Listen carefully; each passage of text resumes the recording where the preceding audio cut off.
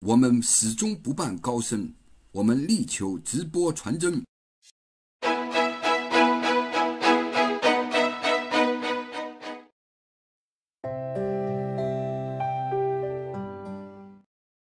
海外华人直播的朋友们，大家好！今天是二零一九年十月二十三日。海外华人直播播报一则新闻：美国是如何揪出毒害众人的中国芬太尼毒王的？图新闻取自各大新闻媒体，新闻内容并不代表海外华人直播的立场。香港网媒端传媒与《纽约时报》一篇合作报道，详细叙述了遗害美国最大之一的芬太尼毒王张健是如果被美国当局揪出来的。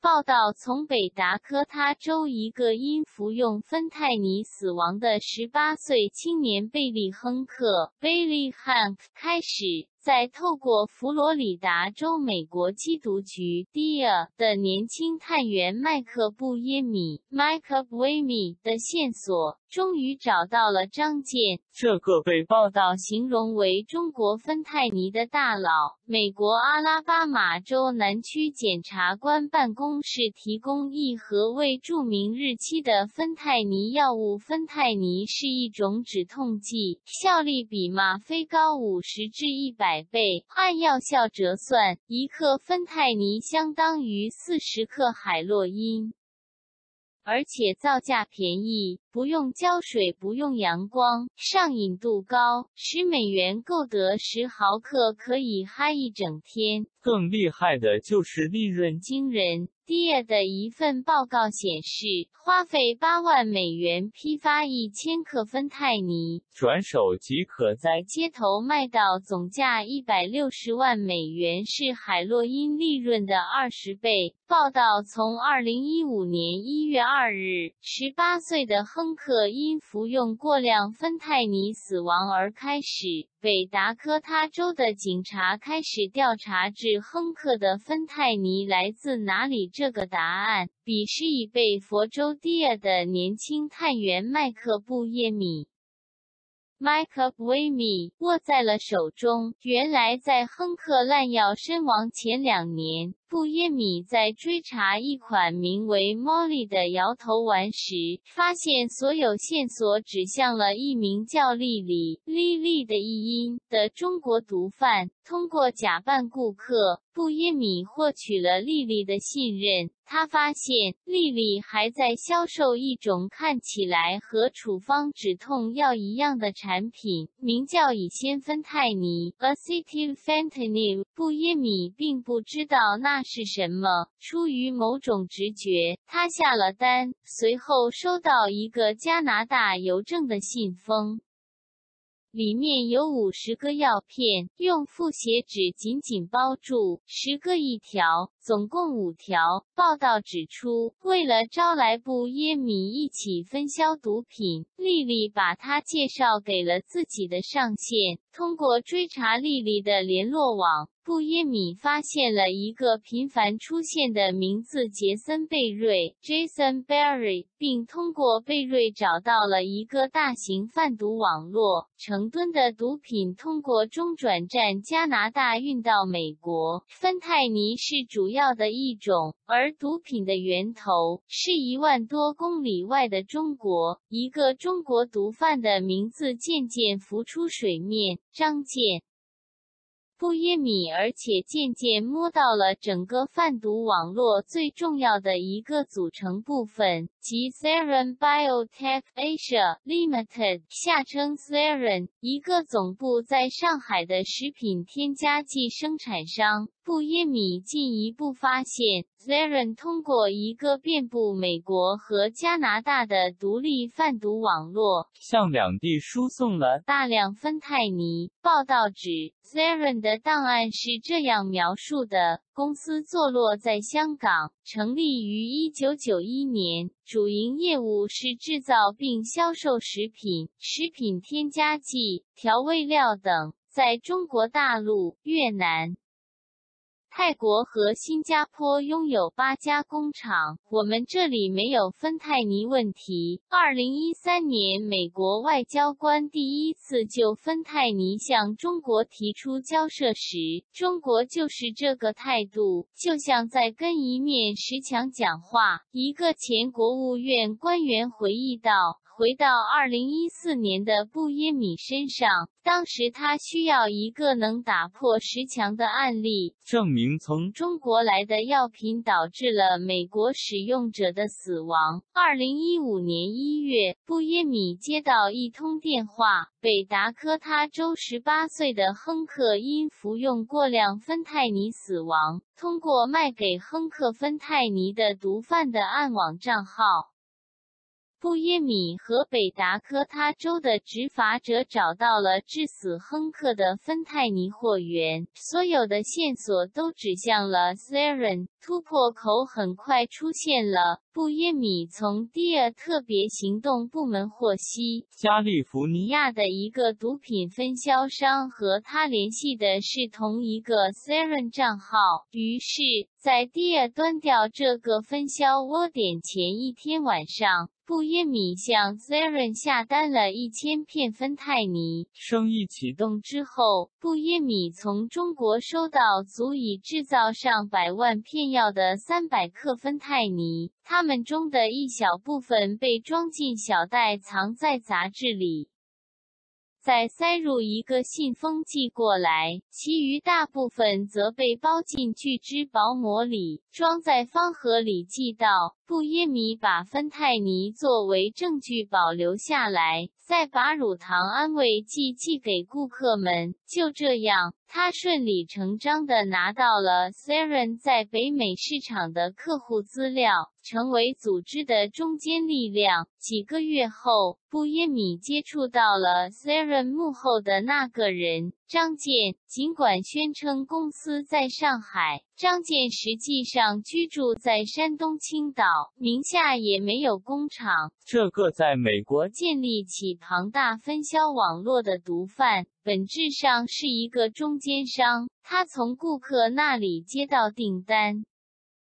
再去找厂家进货，然后打包寄出，用西联 （Western Union） 收款。调查推进顺利。二零一六年六月，布耶米到北京面见第二驻北京专员贾斯汀·斯科曼 （Justin Schuman） 及中国的合作伙伴。彼时，中方已展开对张健的调查，监控了他的邮件、税务记录等，还向布耶米提供了一份张健和中国供货商沟通的记录。此外，中方还截获了张建寄出的一千克芬太尼。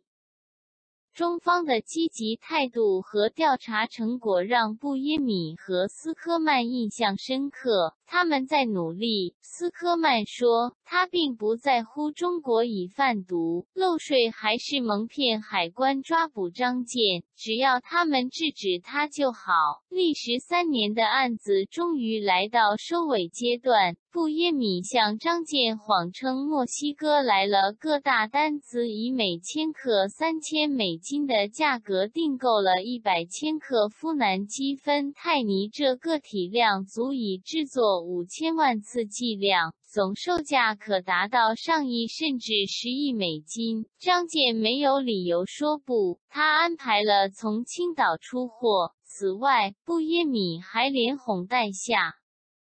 让张健破例放弃了用 w i k e r 发短信联系，而是打了一通 Skype 电话。布耶米将对话内容全部录音了。到了二零一七年十月十七日，美国司法部宣布，三十八岁的张健和另一名中国毒贩四十岁的严小兵 （Shavon Yan） 因意分别在北达科他州和密西西比州被起诉。司法部副部长罗森斯坦 （Rod Rosenstein） 在一份声明中说：“这是美国。”司法部第一次起诉中国的芬太尼贩毒者。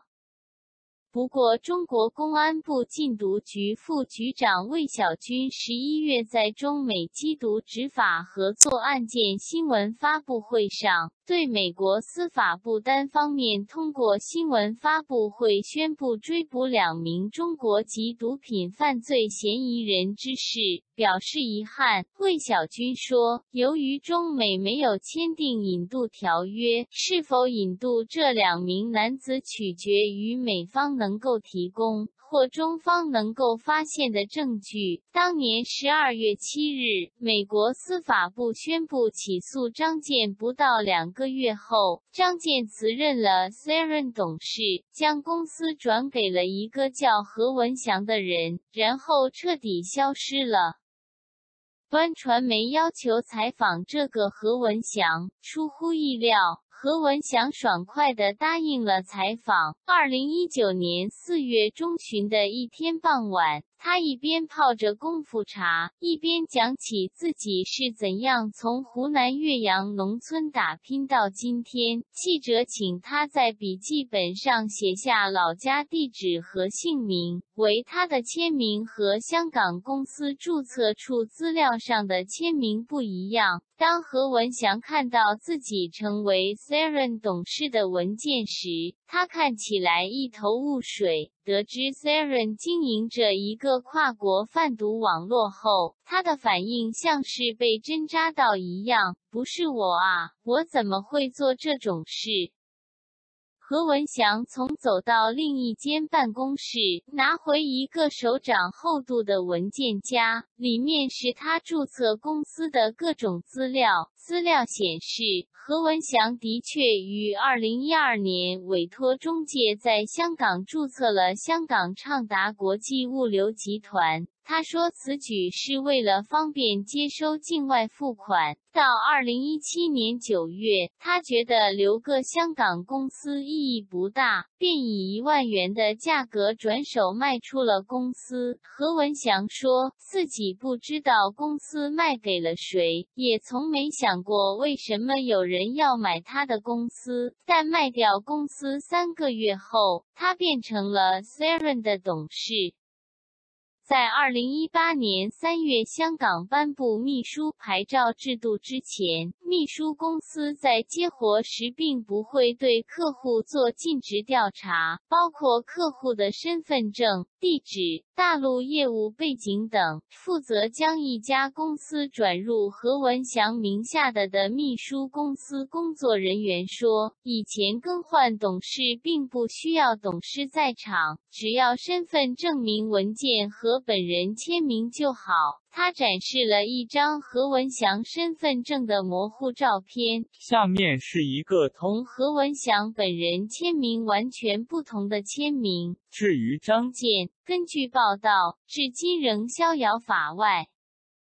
海外华人直播的固定播出时间早上七点、晚上七点半。非常感谢各位朋友观看我们的频道。若你喜欢我们本期视频的节目，拜托你订阅、点赞、转发或者打赏。您的支持行动和订阅是我们制作出下一期节目的动力。文章来源。端传媒于二零一九年十月二十二日支持我们，就请在视频右下方点击订阅我们的频道。本节目由美国加州奥克兰市英记世家赞助播出，订餐电话五一零四六五幺八八八。